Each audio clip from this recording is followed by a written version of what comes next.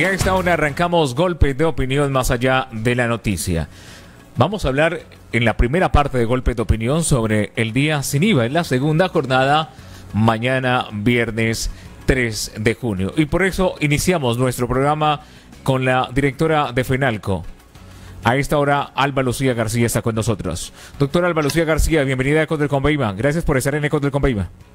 Julio, muy buenos días para usted y para todos los oyentes de Ecos del Conveima, la mejor emisora de la región. Sí, usted de la casa, eh, siempre lo hemos dicho, eh, fue columnista y luego directora de FENALCO y siempre estará aquí eh, como una como parte más de esta estructura de la emisora con identidad regional. ¿Cómo se está preparando el sector comercio para el día sin IVA? Bueno, llega el segundo día sin IVA, un nuevo reto para todos los comerciantes. Desde que arrancó esta jornada de tres días sin IVA, nosotros hemos estado muy de la mano siguiendo cada uno de los pasos del comercio para ver cómo logramos que más personas puedan llegar a estos comercios y más personas también puedan obtener descuento. En esta segunda jornada tendremos unas nuevas disposiciones, unas desde el nivel nacional, Recordemos que el presidente de la República anunció a través de una circular de uno de los ministerios que en esta oportunidad los electrodomésticos, computadores, equipos de comunicaciones no podrán ser comprados de manera presencial en los grandes almacenes, grandes superficies e hipermercados. Esto quiere decir que en esta jornada que tendrá lugar mañana, viernes 3 de julio, las personas no podrán comprar de manera presencial televisores, neveras, lavadoras y otros elementos que no alcanzaron a comprar en la jornada anterior. En el caso de Ibagué, se mantendrá la medida de no pico y cédula, lo que permite que las personas puedan acudir de manera responsable a los comercios. Y en esta oportunidad el decreto 347 habla de un horario comercial desde las 5 de la mañana hasta las 10 de la noche que da inicio el toque de queda. Muchos de los comercios tendrán apertura después de las 7 de la mañana y estarán hasta las 9 de la noche para permitir a los compradores y a sus empleados que salgan del almacén y se puedan desplazar hasta sus hogares. Sí, con esa medida que ha tomado el gobierno, expliquémosle a nuestros oyentes cuáles son los productos que tienen el beneficio de estar sin IVA y que se pueden comprar de manera presencial. Bueno, recordemos que el decreto inicial estableció siete grandes categorías. La primera era la que tenía que ver con electrodomésticos como tal. Aquí tenemos neveras, televisores, cafeteras y demás.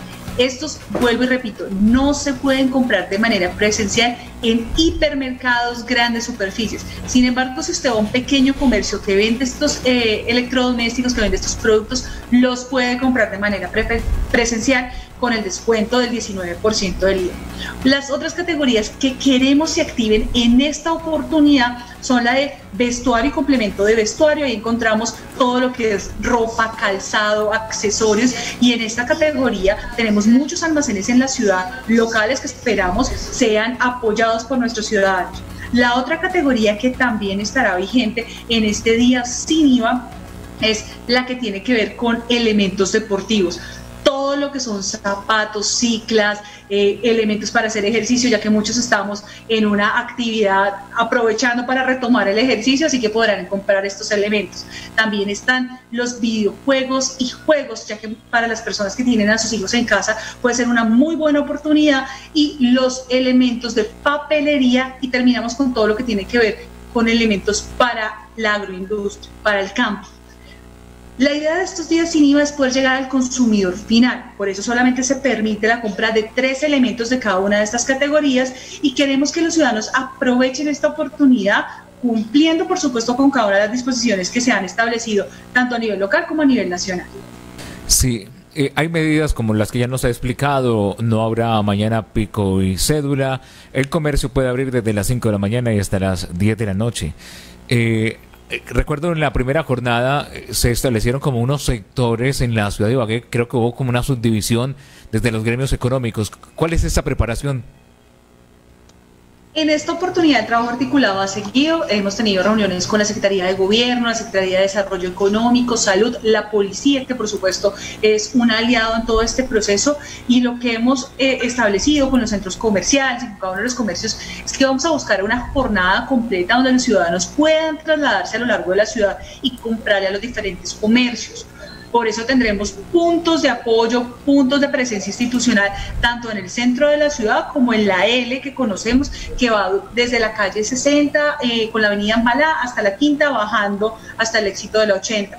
La primera jornada creo que fue muy exitosa y Julio, permítame aprovechar para felicitar y agradecer a cada uno de los oyentes que hicieron parte de esta jornada. Hubo algunos comercios donde se presentaron algunas aglomeraciones pequeñas a las cuales pudimos atacar inmediatamente tan pronto nos enteramos de esta jornada, yo creo la primera que pasó, nos dejaron un par de enseñanzas, pero sobre todo nos mostró que sí es posible tener cultura ciudadana, que sí es posible esa corresponsabilidad entre comercio y compradores y que el trabajo articulado nos permitió ser una de las ciudades reconocidas a nivel nacional, no solamente por el incremento en ventas, el cual fue muy positivo para el comercio, principal aportante de la economía en la región. Sí, recuerdo que al finalizar la jornada usted manifestó que quedaban grandes retos. Recordemos esos retos y esos ya se han podido eh, buscar esos mecanismos para eh, poder mejorar algunas condiciones que quizás fallaron porque era el primer día sin IVA y más en medio de una pandemia. Bueno, uno de los retos que tuvimos fue el alto tráfico en las plataformas de las grandes superficies y de otros almacenes. Eh, se buscó y se trató de entender la explicación de este fenómeno. No había tenido en ningún momento de la historia de las páginas de Colombia un tráfico tan alto, entonces digamos que los servidores no estaban preparados para esa demanda. Esperamos que en esta oportunidad sea menor y por ende no tengamos ese caos eh, en las plataformas, sino que todo lo contrario puedan responder y puedan tener un servicio óptimo para los ciudadanos. Otro reto que se nos presentaba era todo el tema del pago electrónico. Recordemos que el decreto solamente le permite a las personas pagar con tarjeta débito, tarjeta crédito o pagos electrónicos. Estuvimos muy atentos con los bancos para que más personas pudieran tener esa bancarización, pudieran tener esa tarjeta y en esta oportunidad haremos un ejercicio en el centro de la ciudad con algunos almacenes de ropa con nuestro aliado Gana Gana para que las personas que lleven efectivo puedan hacer esa transformación en pago digital. Otro reto que se nos presentó fue seguir y en esto hemos continuado durante esta semana haciendo toda la pedagogía para que las personas que van a los almacenes hagan una compra rápida, eficiente. ¿Qué tuvimos, por ejemplo, en ese primer día que fue lo que generó algunas aglomeraciones? Pues que la persona llegaba a la tienda, al almacén donde iba a comprar, escogía el producto o se daba cuenta que el producto ya no existía y terminaba comprando otros productos o mirando otros productos y eso demoraba su permanencia en los almacenes. En estos momentos, el, digamos que la ocupación o el aforo permitido sigue siendo reglamentado a nivel nacional, por eso nos tocaba suspender para que las personas pudieran salir y eso generó las filas. La invitación es para que compremos de manera rápida, revisemos previamente cuál es el producto que queremos llevar y si vamos a hacer una actividad diferente, si usted quiere ir a hacer mercado, quiere ir a comprar un producto diferente como una cama, un sofá o alguno de los elementos que no está exento de IVA, que lo hagan un día diferente a mañana. Eh, doctora Alba Lucía García, queremos agradecerle su diálogo a esta hora con Econoticia de Ecos del Conveime. Esperemos que haya un buen comportamiento en esta nueva jornada del día IVA. Y para cerrar, eh, ¿cómo avanza ya el, sector comercio en esta reactivación económica, poco a poco, paso a paso, hay algunos sectores que, por ejemplo, pertenecen a, FENALCO que aún eh, no tienen eh, esa reapertura. ¿Cómo está la situación? Bueno, el día, el primer día sin IVA fue, la verdad, superó nuestras expectativas en, en términos de números de ventas. Sin embargo, después de ese día, las semanas, las dos semanas siguientes que hemos tenido y la semana previa, el consumo fue menor las personas, aunque se ha dado la reactivación y aunque el comercio cumple con todos los protocolos de bioseguridad, el consumo se ha visto un poco disminuido. La expectativa es para que en este mes que acaba de pasar, junio, hubiera crecido de alguna manera ese consumo y que ahora en julio se reactive cada vez más como muy bien lo señalaba Julio, hay algunos sectores que aún no despegan totalmente, lamentablemente hemos estado muy atentos para buscar nuevas opciones que les permitan tener mayor interacción y de esta manera eh, poder entrar en esta reactivación. Nos preocupan mucho las cifras de desempleo presentadas por el DANE porque reflejan el flagelo que vive hoy el comercio tras varios meses de cierre y esperamos que en, este, en esta segunda jornada del día sin IVA muchos comercios puedan recuperar y puedan llegar a una expectativa de venta superior a la que vienen manejando promedio. Permítame, Julio, invitar a todas las personas a visitar www.ibaguedespierta.com, donde encontrarán todas las categorías, todos los alimentos que están exentos de IVA, conocerán los valores de cada uno de los productos, cuáles son las reglas que aplicarán para la ciudad de Ibagué y creo que es una guía muy sencilla y muy eficiente para todos los ciudadanos. www.ibaguedespierta.com Doctora Alba Lucía García, directora de FENALCO, gracias por estar con nosotros. A usted muchísimas gracias y a todos los oyentes. Cualquier duda que tengan desde FENALCO estamos prestos porque somos la fuerza que une. Muy amable. Y hay dos sectores eh, que tendrán ya una reapertura a partir del mes de junio. Es el sector de las iglesias y el sector de los restaurantes. En instantes hablaremos del sector de los restaurantes, cómo se prepara en Ibagué. Pero hay un sector de tantos que continúa afectado. Es el sector de los juegos de azar, en este caso directamente los casinos. Por eso queremos saludar a esta hora en golpe de opinión a Faider Tafur. Es una persona que hace parte del sector de los casinos. Eh, gracias por estar eh, con nosotros a esta hora en Ecos del Conveima. Muy buenos días. Muchísimas gracias a ustedes también por la invitación. Sí, hablamos de FENALCO, del día sin IVA y la reactivación económica. Y muchos se preguntan, ¿para cuándo serán los casinos? Bueno, te cuento que particularmente ha sido un sector muy delicado en cuestión de la apertura. De hecho, somos el gremio, la industria, por decirlo de alguna manera, como lo queramos llamar, que cerramos, en un principio fuimos los primeros, desde el 16 de marzo eh, hasta el 17 de 18 de marzo más o menos empezaron a cerrar los demás establecimientos. En este caso de Ibagué particular fue a partir del 17 de marzo y como comprenderás, ya para el cuarto mes del año 2020 de tener todas las operaciones a nivel nacional cerradas. Eso ha significado de, de, una u otra manera en el recorrido de la pandemia un 30% de los establecimientos en estos momentos, en estos momentos ya están, por decirlo de alguna manera, están quebrados. Lo que nos indica es que, por ejemplo, si al día de mañana eh, nos dieran la, la para, para hacer la reapertura, entendería yo eh, que ese 30% ya no podría abrir porque se agotaron sus recursos al sostener la plantilla, al sostener eh, los arrendamientos, los servicios.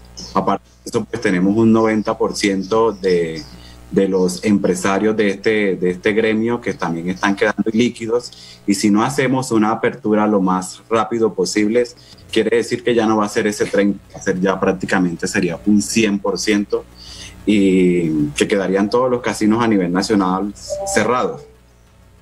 A eso súmale también pues que se perderían una cantidad de empleos porque a nivel nacional eh, tenemos 60 mil empleos directos y 180 mil empleos indirectos gracias a estas industrias, ¿sí? Son más de 35 mil eh, familias eh, que dependen directamente de este, de este gremio de juegos de azar y casinos. Y a eso súmale que el 80% de, de las mujeres son cabezas de familia las que trabajan en este sector el 70% son jóvenes que en primera línea comenzaron trabajando con este sector. Y algo muy bueno que tiene ese sector es que cuando comenzamos a trabajar, eh, básicamente se hace una formación dentro de este sector. Eh, yo particularmente podría decir que ingresé teniendo mis 22, 25 años, eh, siendo un, un, promotor de sala o siendo un asesor comercial, como lo quieran llamar en otras empresas, Hoy por hoy he pasado por muchos cargos, he hecho una carrera administrativa dentro de la organización y hoy soy el director de un punto de operación de acá de la ciudad de Ibagué. Entonces este espacio es como para también agradecerles a todo ese gremio de, de, industria que tenemos como son los casinos y juegos de azar eh, por ese apoyo que nos han brindado porque diga particularmente la empresa de nosotros, Vica Group, eh, ha sostenido nuestra plantilla, ha sostenido nuestros salarios, pero ya es hora de abrir, ya es hora de abrir porque definitivamente eh, estamos necesitando estar en, en, nuestros sitios de operación porque hasta el momento se han, se han mantenido la plantilla y se han mantenido los salarios, como te lo estaba diciendo, pero llegará un momento en que si no hacemos una apertura lo más rápido posible, ya este, este, esta persona que te está hablando aquí posiblemente también se puede quedar sin empleo. Entonces, por eso es que estamos gritando a, las redes sociales, a la Gobernación Nacional, al Ministerio de Salud, a todos los entes particulares que nos, nos escuchen y nos ayuden para hacer una pronta apertura lo más rápido posible. Sí, también está con nosotros Catarina Álvarez. Catarina, gracias por estar con nosotros. Y el sector de los casinos y juegos de azar hacen un importante aporte al sector salud. Eso sí es. Muy buenos días, Julio. Un saludo para ti y para todos los que nos están siguiendo a través de Eco del Conveima. Exactamente como tú lo dices, o sea, el aporte es grandísimo que tiene como tal ese sector de juegos de azar. Es anualmente más de 400 mil millones de pesos que están dejando de ingresar a ese a, la salud. O sea, teniendo en cuenta que ahora con ese tema de la pandemia es donde más se necesita todo el apoyo para el personal médico, para los hospitales, para los mismos pacientes, para mejorar las instalaciones, ese aporte que damos nosotros como gremio se está viendo afectado por el tema de estar cerrados digamos, si hablamos de, de, solo habilitar, por ejemplo, el tema de los casinos que están ubicados en centros comerciales, solo con ese porcentaje tendríamos un 30% de aporte a la salud. Es por eso que estamos como tan preocupados, aparte de la situación de los empleos de todas las madres cabezas de familia que tenemos con nosotros, es por ese tema, que ese dinero no se está viendo reflejado en la salud y me parece que es una cantidad bastante considerable para que se tome en cuenta. Además que si venimos a ver el tema de los protocolos de bioseguridad, los casinos en centro comercial, que son como el nuestro, ahí tendríamos doble protocolo porque es el protocolo que se maneja dentro del centro comercial y el protocolo que manejamos también como tal nosotros como establecimiento. Ya se han trabajado, se han hecho mil pruebas. Yo creo que pues, el jefe Fider nos puede comentar muchísimo sobre todo el tema del protocolo. Ya estamos listos. Eh, de verdad con todo para ofrecer un juego seguro para los clientes, no hay riesgo de contagio y demás. Sí, fue Tafur, pero ¿qué les ha dicho el gobierno? Ustedes manifiestan que tienen listos los protocolos. Eh, ¿El gobierno ya les solicitó esos protocolos del gobierno como tal nacional? Y entiendo que debe haber alguna asociación que los esté representando en Colombia para hacer ese diálogo directo con la presidencia y con los ministerios que tienen a cargo este, este tema, como dice el Ministerio de Salud, Ministerio del Interior y Ministerio del Comercio. Sí, señor. Nosotros ya enviamos eh, los protocolos ya hace mucho ratico, ya nosotros los tenemos listos. Eh, te puedo decir que a nivel nacional se han invertido más de 500 millones de pesos para la caracterización de todos estos protocolos que básicamente están definidos en tres pasos fundamentales, como son el distanciamiento social. Entonces, ¿qué tenemos en el distanciamiento social? Pues eh, hemos hecho varios escenarios en el cambio de máquina o layout, como le, podemos, como le podamos mencionar, donde vamos a escoger el que más se ajuste a la necesidad que hoy estamos viviendo en Colombia, ¿sí? Porque también eh, prima la salud de todos los colombianos y la salud de nuestros colaboradores y la salud de todos nuestros clientes. Entonces estamos buscando la manera de distanciar las, las máquinas que tengan un aproximado de dos metros y aquellas que no se puedan, pues los vamos a colocar unos separadores en acrílicos que entre otros casos, pues eso es un costo, una inversión que se está realizando eh, muy alta a nivel nacional pero la idea es eh, eh, que todos estos protocolos se ajusten básicamente a la necesidad que hoy, hoy día necesitan las empresas y que hoy día necesitamos todos los colombianos.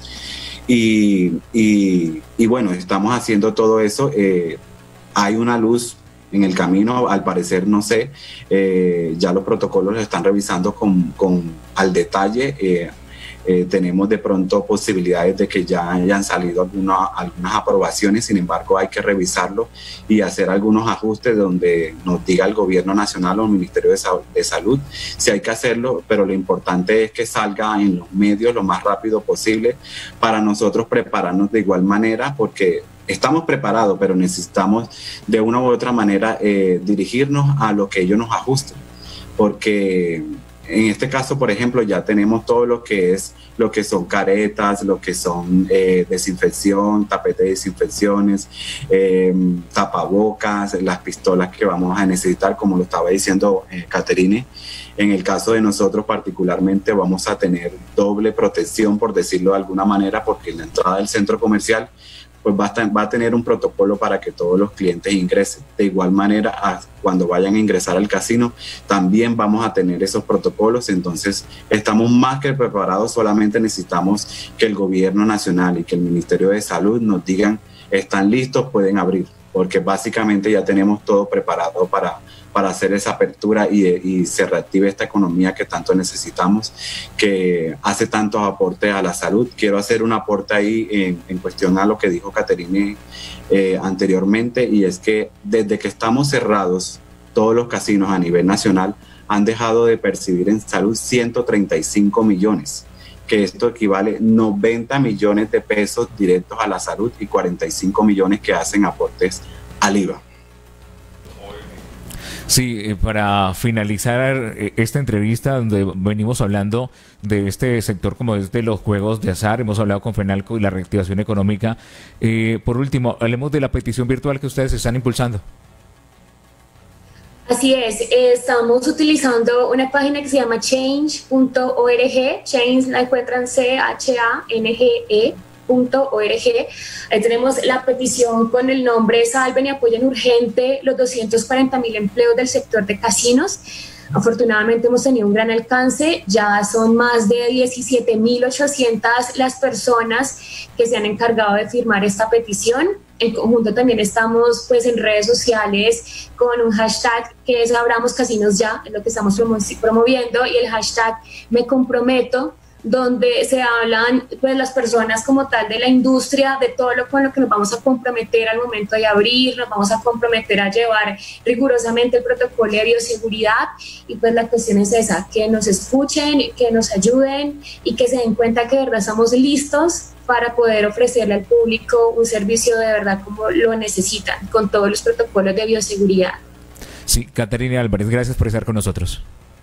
Gracias a ti, Julio, gracias a todos por escucharnos y por este Muchísimas gracias por escucharnos. Sí, gracias a Faide Tafur. Ahí está la petición del sector de los eh, casinos y juegos de azar. Golpes de opinión más allá de la noticia.